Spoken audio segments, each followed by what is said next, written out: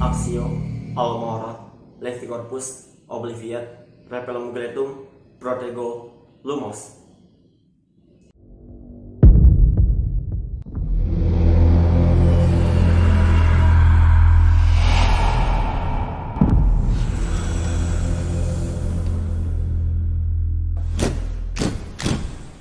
Yo, what up guys? Back again with me, Games 60net. Yo, di video kali ini gue bakalan membahas makhluk humanoid yang bisa dibilang memiliki eh, jenis yang sama dengan kartun cat, kartun dog. Dan tentunya makhluk yang satu ini gak kalah seremnya dengan mereka. Langsung saja kita mulai videonya. Cartoon Girl.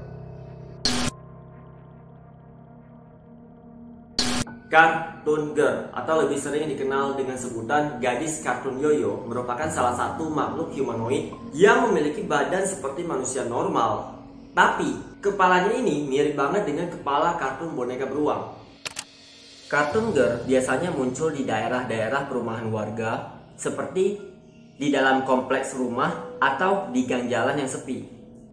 Kalau ada seseorang yang berusia 20 tahun ke atas dan berjalan sendirian di tempat yang sepi, maka Cartoon Girl akan menunjukkan wujudnya secara tiba-tiba di hadapan orang tersebut seperti ingin memberikan ucapan selamat datang. Nah, yang menjadi masalahnya kalau Cartoon Girl ini muncul di hadapan anak kecil, ia akan menjadi marah tanpa alasan yang jelas dan menjadi sangat temperamental. Anyway, Katungger ini bukanlah arwah manusia yang mati, terus arwahnya ini penasaran dan meneror manusia kayak kostumen. Melainkan makhluk ini memang memiliki bentuk atau wujud asli yang seperti spesies kartun lainnya. Nah, kalau kalian bilang gak mungkinlah ada makhluk yang seperti itu di dunia ini, terus bagaimana dengan kartun dog dan juga kartun cat? Bukannya mereka lebih parah dari kartun girl?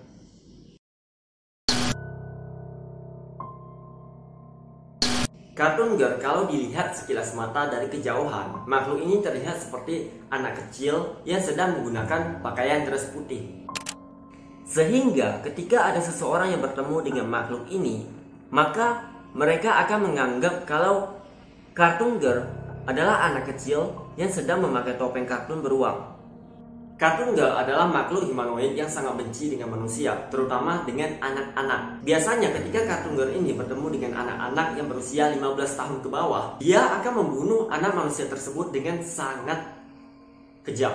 Walaupun anak manusia ini baru pertama kali bertemu dengan Kartun Girl, tetap aja makhluk ini akan marah seketika dan membunuh anak manusia tersebut. Setelah gua search baca-baca di beberapa forum diskusi, ada beberapa orang yang mengatakan kalau kartun girl ini memiliki hmm, kepribadian yang sangat aneh. Ketika kartun girl ini muncul di area kompleks rumah warga atau di gang jalan, biasanya pasti bakalan ada beberapa hewan peliharaan yang mati dengan sangat parah. Seperti badan kucing yang terbelah menjadi dua, seolah-olah ditarik oleh kartun girl atau anjing-anjing yang ada di area sekitar mati karena racun berbahaya.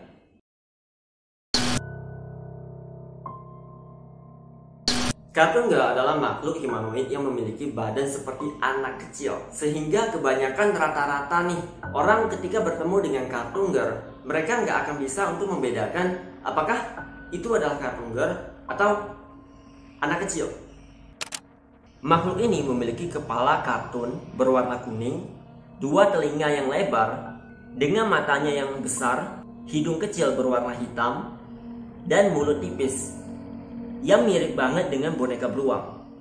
Selain itu, ia juga mengenakan dress putih panjang yang agak sedikit kotor. Tangan dari makhluk ini nggak kelihatan karena disembunyikan di dalam dress.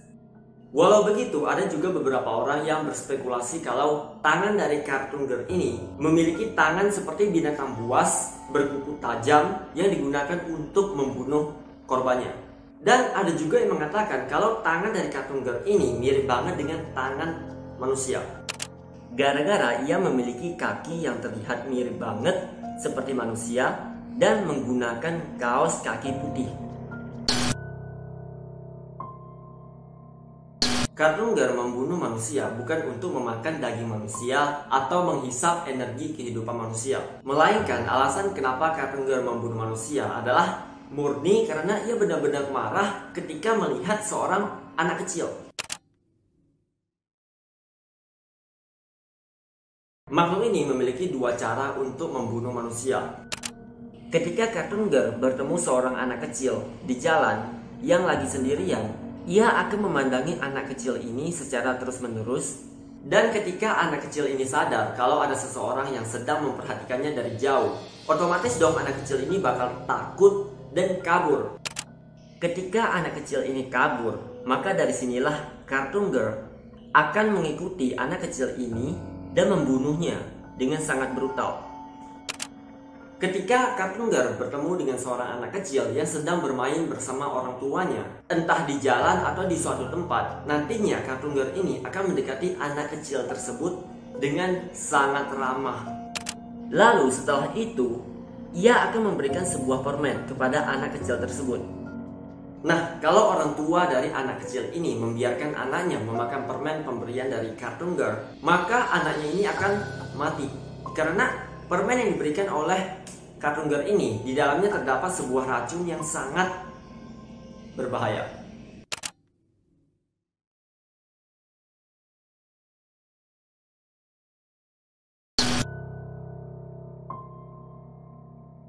Cerita dari penampakan Girl terjadi pertama kali pada tanggal 21 Agustus 2018 di New York.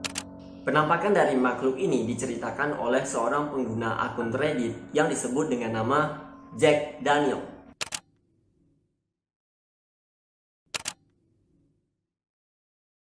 Nah, ceritanya Daniel saat itu pulang melewati gang jalan yang biasa ia lewati. Karena gang tersebut merupakan jalan pintas yang paling dekat dengan rumahnya. Anyway, gang yang dilewati oleh Daniel ini selain tempatnya sempit, ternyata juga memiliki rute yang lumayan panjang. Nah, di Indonesia, saran gua kalau kalian pulang malam, jangan sekali-sekali memilih rute gang yang sempit karena takutnya kalian bakalan bertemu dengan seorang perampok atau begal.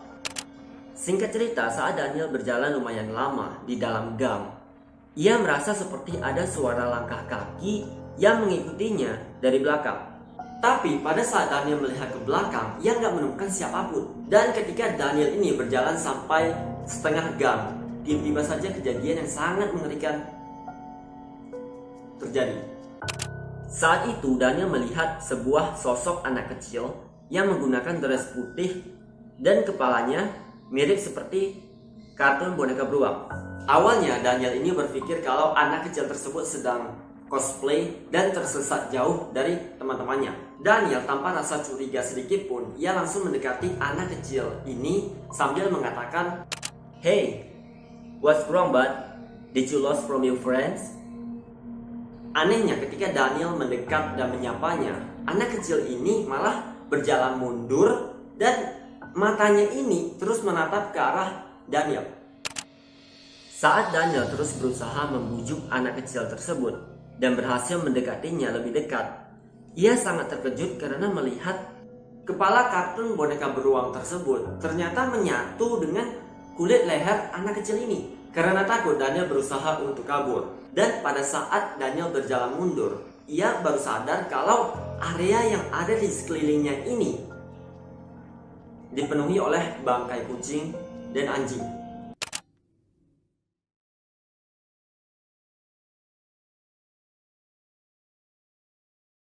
Nah, pada saat Daniel menoleh ke depan, sosok dari anak kecil tersebut menghilang. Daniel sempat memfoto sosok penampakan makhluk tersebut. Karena pada saat ia berbicara dengan makhluk ini, Daniel menggunakan kamera flash untuk menerangi area sekitar, sekalian mengambil foto anak kecil tersebut. Dan setelah kejadian mengerikan tersebut, Daniel memposting foto yang ia ambil ke Reddit. Dari sini banyak sekali yang mengatakan kalau sosok penampakan anak kecil tersebut adalah Cartoon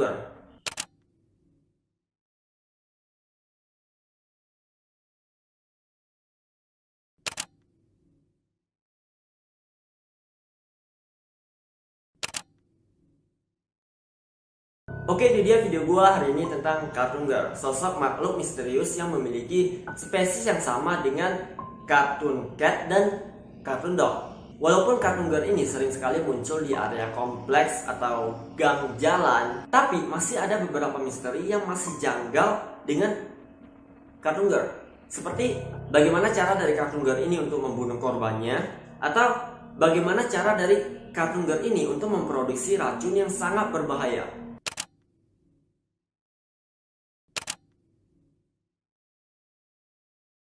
Oke, okay, untuk kalian yang udah subscribe channel ini, gue ucapin thank you banget untuk kalian semua. Dan untuk kalian yang belum subscribe channel ini, mendingan kalian subscribe sekarang juga. Karena dengan kalian subscribe channel gue, artinya kalian mendukung gue dan kalian gak bakalan ketinggalan notifikasi pada saat gue upload video baru.